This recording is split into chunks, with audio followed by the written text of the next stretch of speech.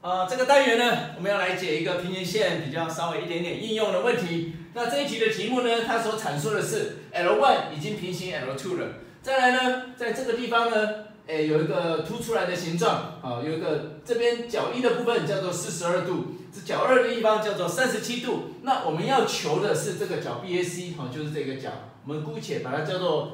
呃，角 BAC 好，在这个情况，那解这一题其实非常简单，因为 L1 就是平行 L2，那我们要用一个另外一个平行线的一个性质，就是如果我今天在 A 点呢找一个线段，啊，如果在 A 点找一个线段，它是平行 L1 的，那么这个线段必定也会平行 L2，好，那这个之间的证明，我们可以在往后的单元去做衍生证明。那我们这边就做一个辅助线，所谓的辅助线就是通过 A 点。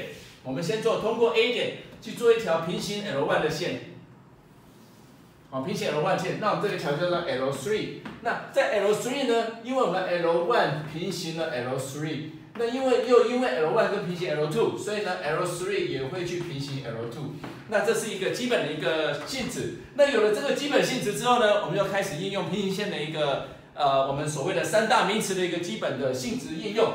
那以 L1 跟 L2 来讲，BA 就是它们的截线。那这个角 E 呢，我们把这边稍微做一个拆拆，把那个角 BAC 做一个拆解的部分，我们就找这个地方叫做三号，这个地方叫做角四。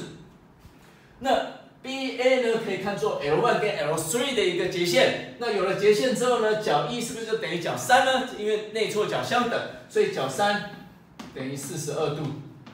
好，这是内错角的部分。再来呢，L3 跟 L2 呢又是一个平行线，所以 AC 又是它们的截线。很明显的，二号跟四号又是一个内错角相等，所以我们又可以知道角四等于多少呢？三十七度。那很很明确的就是角 BAC 刚好就是角三加角四，所以我们就把角三去加上角四，好，这两加起来就是七十九度。那这个呢，这个答案呢就是角 BAC。等于七十九度。好，以上以上呢就是这一题比较简单的解法，加油。